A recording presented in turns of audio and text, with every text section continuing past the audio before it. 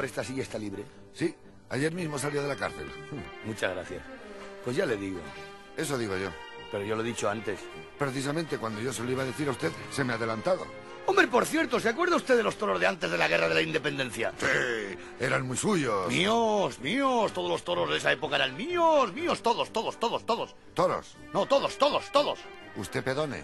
Yo recuerdo haber visto una corrida en Sevilla, un mano a mano entre Morenito de Monjirón y Gallito de dos hermanas, tres cuñadas y un sobrino, que mataron cada uno 194 toros. No es posible. Por personas, ¿entiende? Ah, bueno, pues eso no es nada. En mi pueblo, en el año 1911, hubo una tormenta que estuvo lloviendo desde las 4 de la tarde hasta las 4 y 10. ¡Qué barbaridad! Del mismo día, ¿eh? Bueno, es que los toros de antes, ah, eran como ballenas. Medían mire, 20 metros de largo, 6 de eslora, 4 de manga y 7 de julio. Mucha manga, me parece. Esos los más pequeños. Entonces los grandes... Oh, yo, yo, yo, yo, yo, yo, y los grandes no cabían en la plaza. Había que torearlos fuera. ¿Fuera de la plaza? No, fuera de España. En el extranjero. Es que el extranjero es grandísimo. Mucho más grande que España. Bueno, que, que España no es tan pequeña. No, es como, como un toro. Por eso tiene forma de piel de toro. Bravo, bravo. o manso. Pues este toro, aquí donde lo ve usted, parece una cabra. Pero si el caso es que a mí, a mí me chocaba verle a usted con una cabra. No, si es un toro. Pues parece una cabra. Claro, como que todo el mundo lo confunde. Y claro, él se pone hecho un, un obelisco. Esta cabra mía está loca, completamente loca, loca, loca, loca, lo vuela, lo vuela, lo vuela. Está de atar. Bueno, le ha dado por creerse que la mató Mazantini. Mazantini. ¡Oh!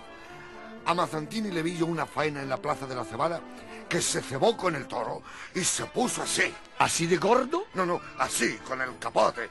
¿Qué faena haría que le cortó 22 orejas al mismo toro? Tres rabos, dos muslos, pan y postre. Y tuvo que dar 600 vueltas al ruedo. Andando, claro. Bueno, hubo gente que se fue antes de que terminara.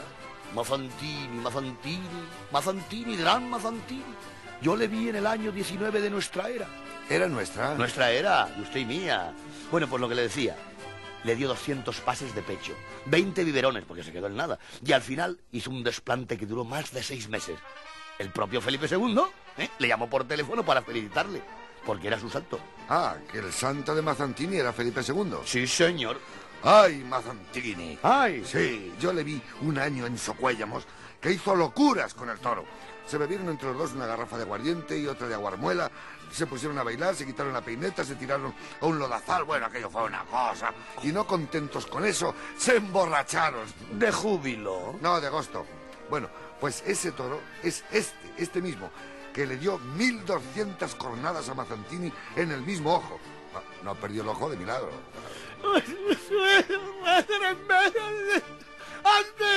Se me saltan las lágrimas. Es que no es para menos. ¡Qué toros! No, no, qué zapatos. Es que son 10 números más pequeños y no los puedo aguantar. No me deje solo, no me deje solo. No se vaya, que voy a torear. Sí, me voy, me voy, me voy porque usted no sabe nada de toros. Que yo no sé nada de toros. Nada. Mire, ¿eh? ¿Eh? ¿Qué le parece?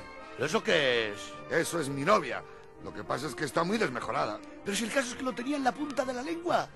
Se me debe haber caído. ¿La lengua? No, la novia.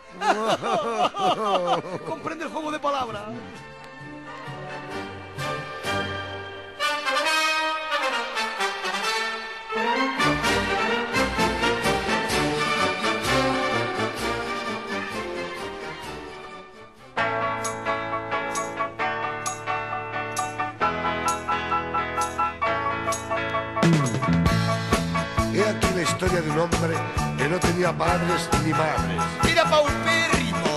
Tan pobre que solo tenía una flauta, tres balacios y dos cincuenta. Tan solo pesaba 140 kilillos de los de antes de las guerras púdicas. Esta canción va dedicada a todos los huérfanos de flauta. Mi flauta tiene una pierna con un agujero solo. Tiene una pierna mi flauta que es la flauta de Bartolo. Bartolo tiene una pierna, cuatro brazos y tres codos. Bartolo tiene una flauta con un agujero solo. ¡Ay, qué duda tan voraz! ¿Qué es lo que tiene Bartolo? Bartolo tiene una vaca con un agujero solo. ¡Ay, qué duda tan voraz! ¿Qué es lo que tiene Bartolo? Bartolo tiene una pierna con una vaca en el lomo. ¡Ay, Esperanza de Fuentes! ¡No conociste a Bartolo! Bartolo tiene una pierna con un agujero solo.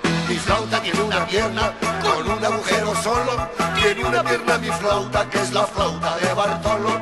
Bartolo tiene una pierna, cuatro brazos y tres codos. Bartolo tiene una flauta con un agujero solo. A las 5 de la tarde le sacaron los hombros con un torro en cada pierna y un agujero redondo. Redondo en el agujero. Qué mala suerte, Bartolo. Si hubiera sido cuadrado, no hubiera sido redondo. Una oveja cantando por la plaza de Casporro. Bartolo tiene una pierna con un agujero solo. Bartolo tiene una flauta que es para volverse loco. ¿Pero quién toca una flauta? Con un agujero solo. Bartolo vendió su flauta para no volverse loco y compró una flauta nueva con un agujero solo.